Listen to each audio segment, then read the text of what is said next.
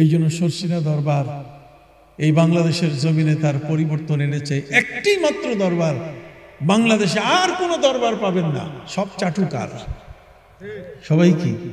চাটুকার। শুধু বড় বড় কথা বলে, কিন্তু তাদের অবদান সেই সরসিনার জাতিকে গঠন করার ইসলাহে কম ইসলাহে মিল্লাত, একটি জাতি পরিবর্তন করতে গেলে আজকে দেখেন দিনিয়া মাদ্রাসা কায়েম করেছে প্রায় ছয় থেকে সাত হাজার দিনিয়া মাদ্রাসা সারা বাংলাদেশের সর্বত্র। এই বাংলাদেশের জমিনের মধ্যে ইসলাম প্রচারের ক্ষেত্রে ঠিক এমনি করে সারসিনা দরবারেরও বিশাল কি অবদান, খেদমত। সুবহানাল্লাহ বলেন। দিন প্রচারের ক্ষেত্রে একটা দেশে দিন কীভাবে প্রচারিত হবে? সম্মানিত সুদী ফিল্ড মার্শাল মোহাম্মদ আইয়ুব খান, পাকিস্তান আমল। তেইশ বছরের একটা সময় বাংলাদেশে পাকিস্তানিরা শাসন করেছে। এটাকে অস্বীকার করা যাবে না। ফিল্ড মার্শাল আইয়ুব খান তার স্ত্রীকে নিয়ে সর্ষিনায় ঢুকতে চেয়েছেন। সর্ষিনায় ঢুকতে দেওয়া হয় নাই। তার স্ত্রীকে ঢুকতে দেওয়া হয় নাই। পর্দা পুশিদার উপরে এতই জোর সেখানে এবং ফিল্ড মার্শাল মোহাম্মদ আইয়ুব খান যখন তিনি স্টেজে, তখন তার কাছে যে অনুরোধ জানানো হয়েছিল যে আপনি রাষ্ট্রপ্রধান, কিন্তু আপনার দেশের পুলিশ যারা, তারা হাফ প্যান্ট পরে থাকে। এরা মুসলমান, এরা নামাজ পড়তে পারে না। অতএব নামাজ যারা পড়তে পারে না, তাদের নামাজের জন্য আপনি এটাকে ফুল প্যান্ট করে দেন। হাফ প্যান্ট না, এটা হবে কি? Full pant. পুলিশের আজকের যে এই হাফ প্যান্টটা ফুল প্যান্ট হয়ে আছে, আমরা পুলিশদেরকে এখন হাফ প্যান্ট পরতে দেখি না। তারা ফুল প্যান্ট পরে চলেন। এটার পিছনে অবদান সর্ষিনা দরবারের। শুধু সর্ষিনা দরবার একটা বিষয়ে অবদান রেখেছে তা নয়। বরং আপনারা জানেন, পৃথিবীর মধ্যে একটা জিনিস মিথ্যা, সারা পৃথিবী ব্যাপী। সেই মিথ্যাটা হলো, ওকাউলেহিম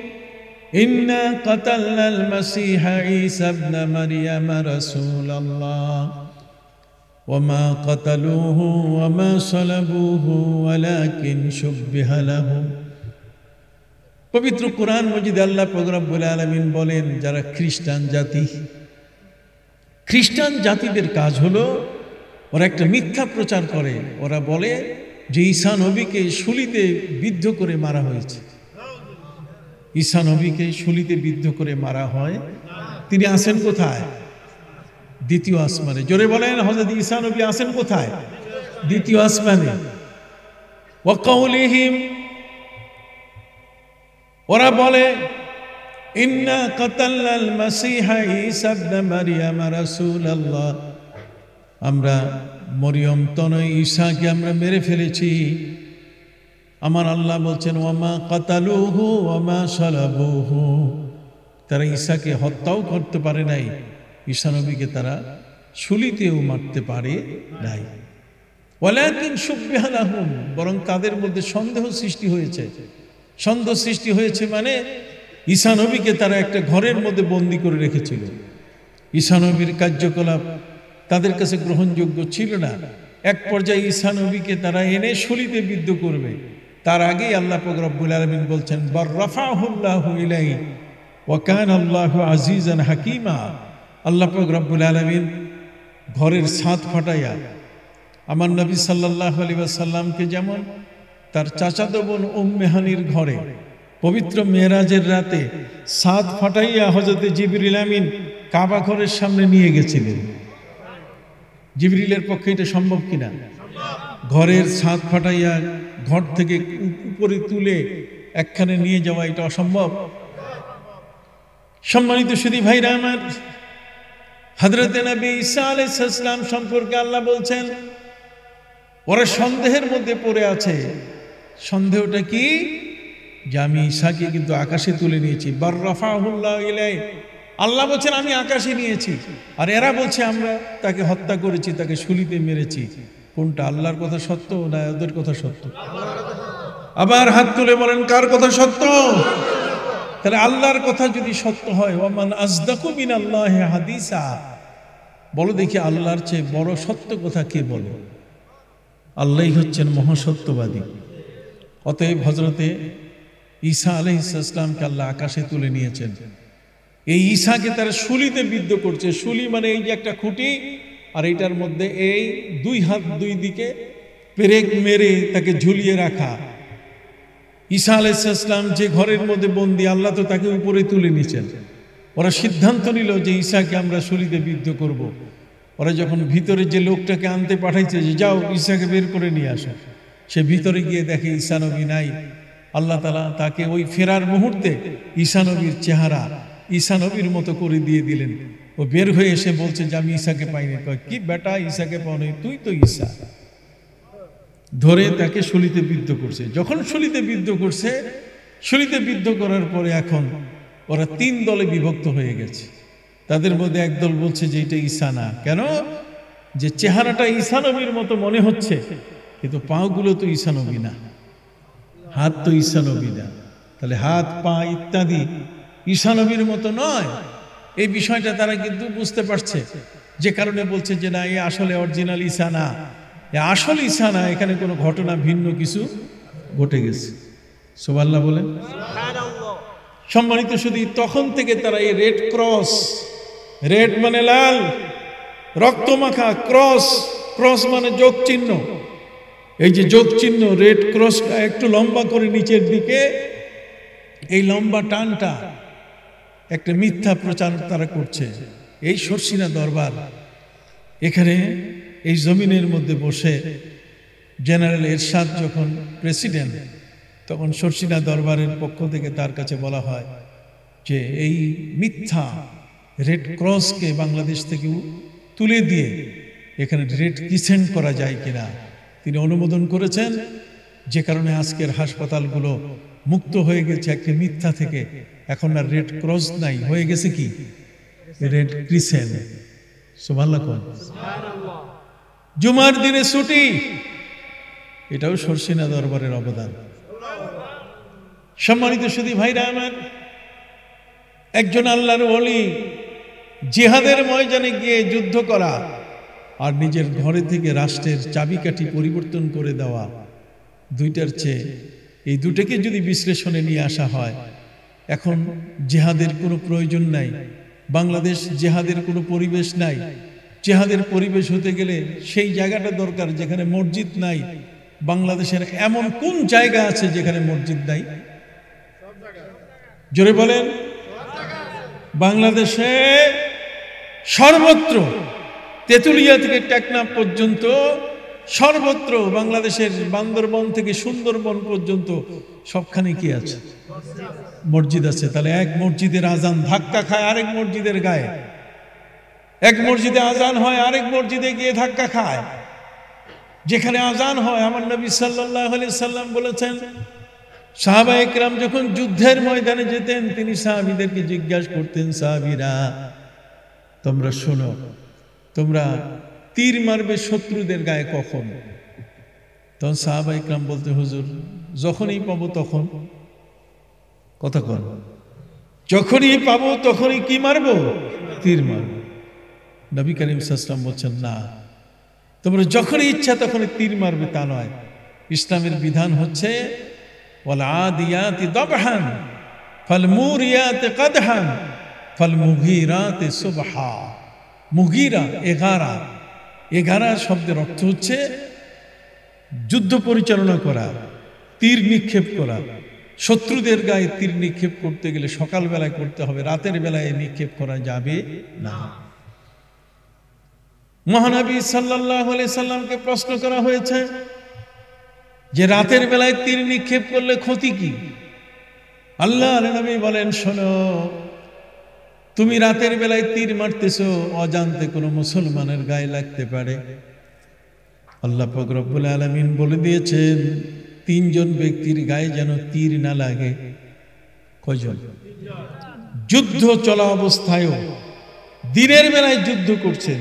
রাতের বেলায় তো আসেই দিনের বেলায় আপনি যুদ্ধ করছেন, দিনের বেলায় যুদ্ধ করা অবস্থায়ও তিনজন ব্যক্তির গায়ে তীর লাগানো যাবে না। তাহলে সে তীরটা মারতে গেলে কত সতর্ক? দিস ইজ আওয়ার ইসলাম এটি আমাদের দিন, এটি আমাদের ধর্ম। তিনটে জায়গায় কোনো ক্রমে তীর স্পর্শ করতে পারবে না। পবিত্র কোরআন মজিদ আল্লাহ রব্বুল আলামিন বলেন মিনার রিজালি ওয়ান নিসাই ওয়াল বিলদান। আল্লাহ বলেন, যারা দুর্বল, বৃদ্ধ রুগী হাসপাতালে পড়ে আছে, ঘরে যারা অসুস্থ রুগী, যারা বুড়া মানুষ, তাদের গায়ে তীর লাগানো যাবে? বৃদ্ধরা তো হাঁটতে চলতে পারে না। বৃদ্ধদেরকে মারা ইসলামে নিষেধ করে দিয়েছে। বৃদ্ধদের গায়ে যেন কোনো ক্রমে তীরের আঘাত না আসে। একটু সুবহানাল্লাহ কইবেন না? ইল্লাল মুস্তাদাফিনা মিনার রিজাল ওয়ান নিসা। ঠিক অনুরূপভাবে নারীদের গায়ে, মহিলাদের গায়ে যেন তীর না লাগে, মহিলারা মস্তুরাত। এরা ঘরের মধ্যে থাকে। অতএব ঘরের মধ্যে যে সমস্ত মহিলা পাকশাকের কাজে থাকে, এরা যুদ্ধ বুঝে কি? অতএব তাদের গায়ে যেন তীর না লাগে। বল বিলদান বিলদান শব্দের অর্থ হচ্ছে ছোট্ট শিশু। ছোট্ট কি? শিশুর গায়ে যেন তীর না লাগে। একটু বড় করে সুবহানাল্লাহ বলবেন না? ইসলামের ধর্মের ক্ষেত্রে সতর্কতা কত বড় মারাত্মক। কাজে নবীজি বলছেন যে, তীর যদি তুমি রাতের বেলায় মারো, এই তীরটা কার গায়ে গিয়ে লাগবে তুমি কি জানো? যদি শিশুর গায়ে লাগে, এটাও নিষেধ। কথা বলেন। ঠিক এমনি করে যদি কোনো বৃদ্ধের গায়ে লাগে, এটাও কি? ঠিক এমনি করে কোনো নারীর গায়ে যদি লাগে, সেটাও কি? এই জন্য তোমাকে সকালবেলা অপেক্ষা করতে হবে যে আজান হচ্ছে কিনা। যদি আজানের শব্দ, ফজরের আজানের শব্দ পাওয়া যায়, তাহলে মনে করতে হবে সেখানে দিন কায়েম হয়ে গেছে। ফজরের নামাজে বাধা নাই। ফজরের নামাজ সেখানে চলছে। ফজরের নামাজের আজান যেহেতু সেখানে হয়েছে, অতএব সেখানে ইসলাম কায়েম হয়ে গেছে। সেখানে তীর মারা যাবে। তাহলে ফজরের আজান কি বাংলাদেশে হয় না? তাহলে সারা বাংলাদেশে ফজরের আজান যেহেতু হয় কাজে বাংলাদেশে জেহাদের পরিবেশ নাই। কথা বুঝতে পারছেন? কিন্তু তারপরও রাষ্ট্রের তো অনেক কিছু বিষয় আছে যেগুলোকে পরিবর্তন করা প্রয়োজন। এই জন্য সরসিনা দরবার এই বাংলাদেশের জমিনে তার পরিবর্তন এনেছে। একটি মাত্র দরবার, বাংলাদেশে আর কোনো দরবার পাবেন না, সব চাটুকার। সবাই কি? চাটুকার। শুধু বড় বড় কথা বলে, কিন্তু তাদের অবদান সেই সরসিনার জাতিকে গঠন করার ইসলাহে কম ইসলাহে মিল্লাত একটি জাতি পরিবর্তন করতে গেলে আজকে দেখেন দিনিয়া মাদ্রাসা কায়েম করেছে প্রায় ছয় থেকে সাত হাজার। দিনিয়া মাদ্রাসা সারা বাংলাদেশের সর্বত্র। আপনি দিনিয়া মাদ্রাসার প্রয়োজন কেন? ভাইদের খেদমতে আরজ করতে চাই। আমার নবীজি সাল্লাহ আলী ওয়াসাল্লাম দিনই শিক্ষা, ধর্মীয় শিক্ষার প্রতি এত গুরুত্ব দিয়েছেন। তার ধর্মীয় শিক্ষার প্রতি গুরুত্বটা এত বড়। আপনি দেখেন, নবী করিম ইসলামের যুগে শিক্ষিত মানুষের সংখ্যা ছিল মাত্র সতেরো জন।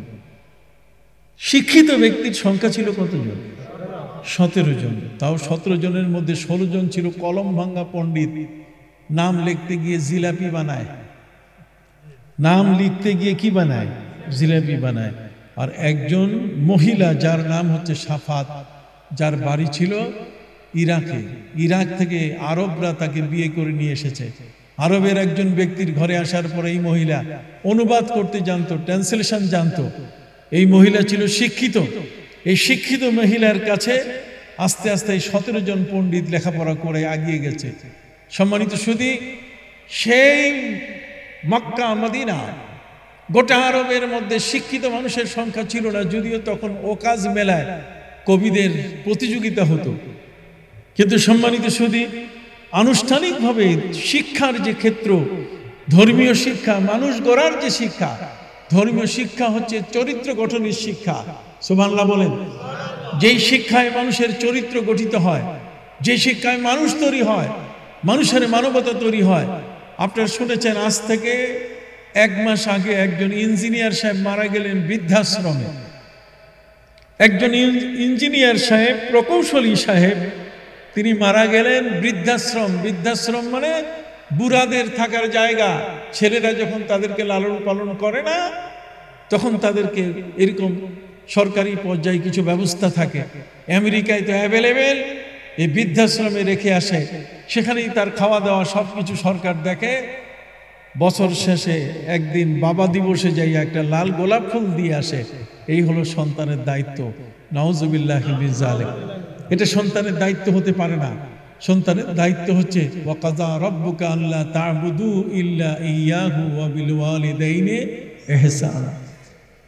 সন্তান, তার দায়িত্ব হচ্ছে মা বাবার প্রতি দয়া করবে।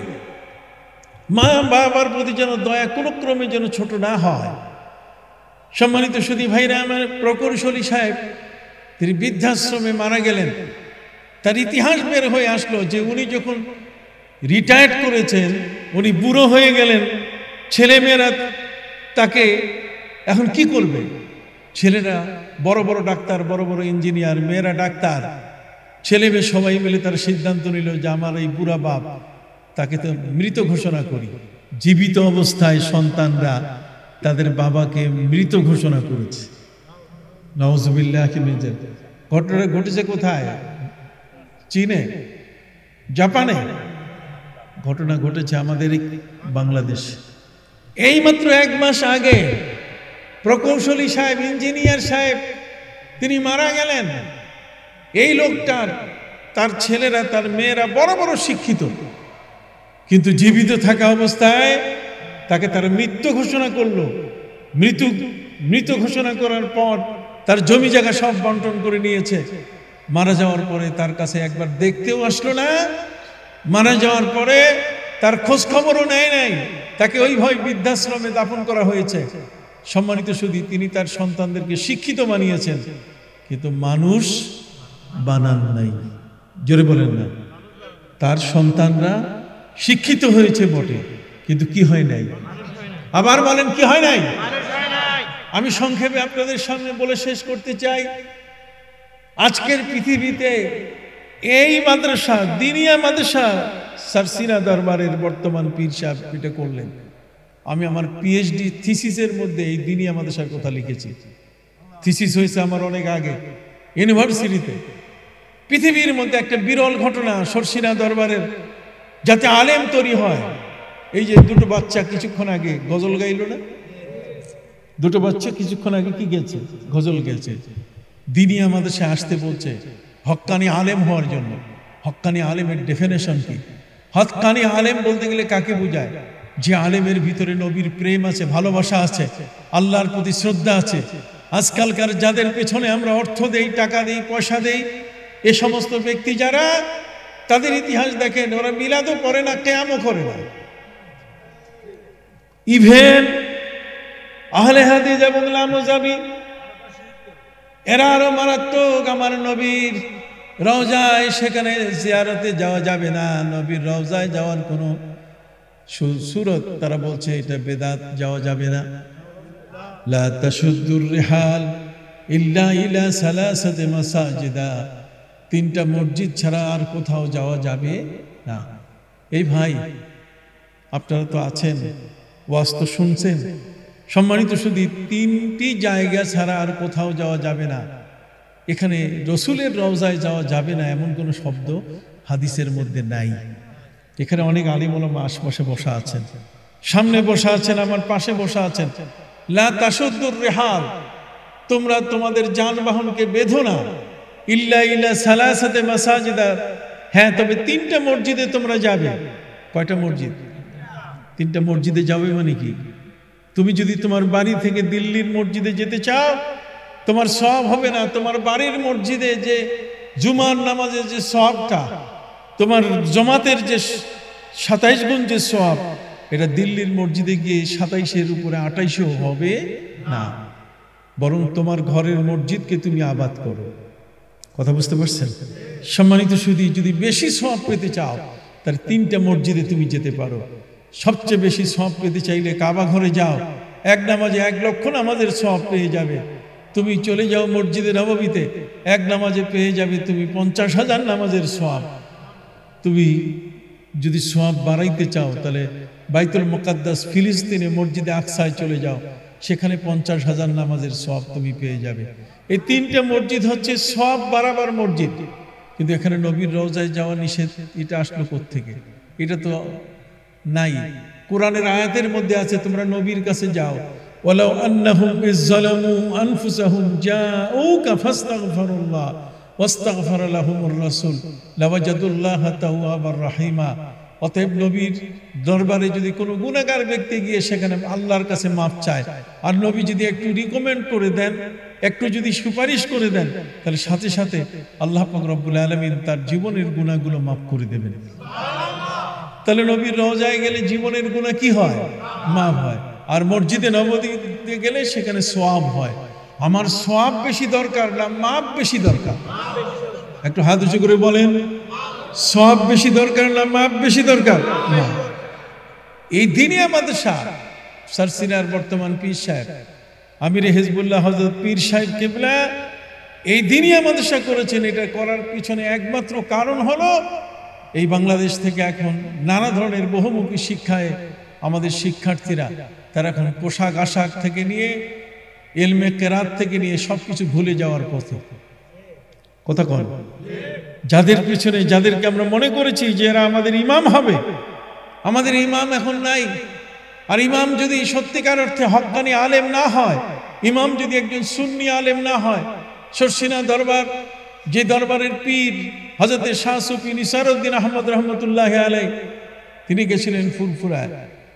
ফুরফুরায় যাওয়ার পরে সেখান থেকে যে পোশাক, সেখান থেকে যে আমল আখলাক নিয়ে এসছেন, সেটাই তো সরসিনা জিন্দা রেখেছে। এটাই দারুসুন্না সুন্নতের উপরে একটা প্রতিষ্ঠান যদি বাংলাদেশের ভিতরে থাকে, তাহলে সেটার নাম কি?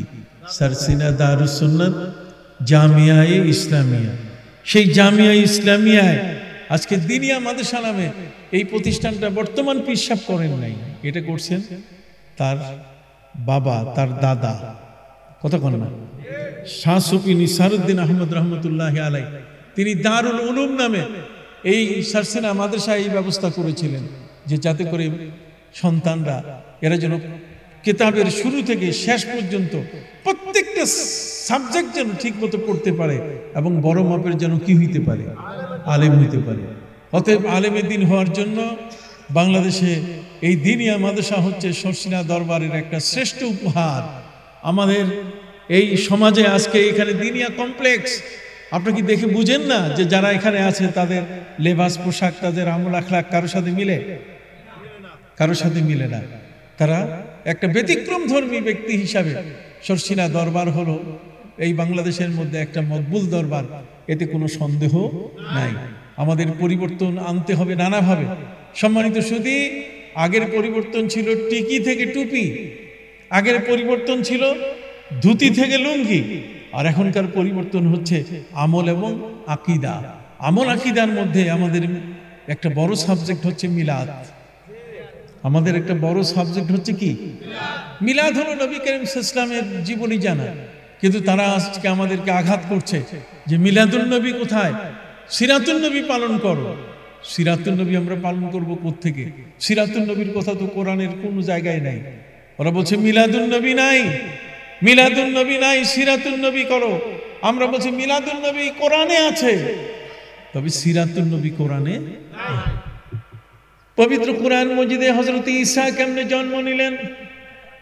ঈসা আলাইহিস ইসলামের জন্ম কাহিনী পবিত্র কোরআনে হজরত মুসা নবীকে আল্লাহ তার মাকে বলে দিলেন